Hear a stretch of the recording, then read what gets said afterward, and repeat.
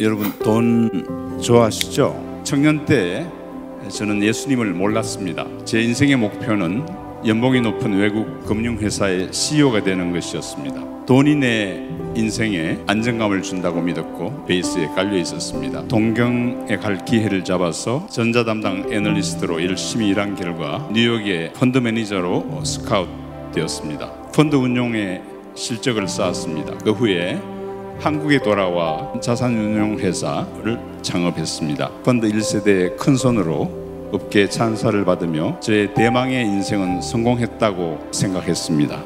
그럴 때 갑자기 인생의 허무감을 맛보고 쾌락으로 빈 마음을 채워보았지만은 텅 빈 제 영혼은 채울 수가 없었습니다. 결국 아내의 중보기도와 섬김에 감동한 어느 날 새벽 기도에서 예수 그리스도가 제 인생의 주인이라고 영접하고 제 삶의 목적을 어, 바꾸었습니다. 예수님을 간 믿으면서 수익의 50% 선교 헌금에 드린다고 교회에서 많은 간증을 했습니다. 순수한 예수님에 대한 사랑의 동기가 아닌 저의 믿음을 자랑하고 그야말로 이원론적인 그런 삶을 살아는 거죠. 하나님은 저의 이 우상인 돈을 철저히 그때부터 다루셨던 것 같습니다. 그 많았던 운용 자산 3천억이 2년 만에 썰물처럼 빠져나가게 됐습니다. 눈덩이 같이 불어나는 수십억의 부채가 10톤의 트럭이 저를 압박해 오듯이 괴로웠습니다. 인생의 바닥에서 저의 헌신의 동기를 성찰해 보기 시작했습니다. 하나님을 이용해서 성공하려 했던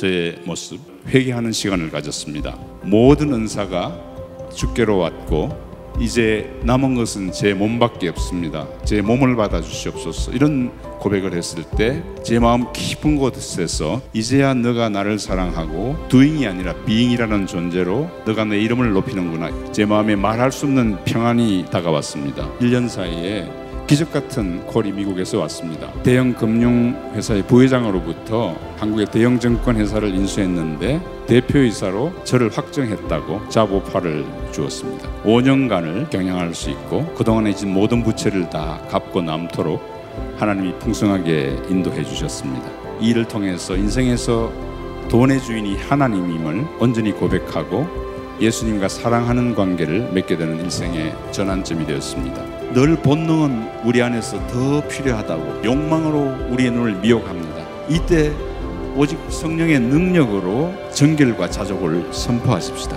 우리의 미래에 대해서도 건강에 대해서도 다 여호와의 것이라고 선포하십시다.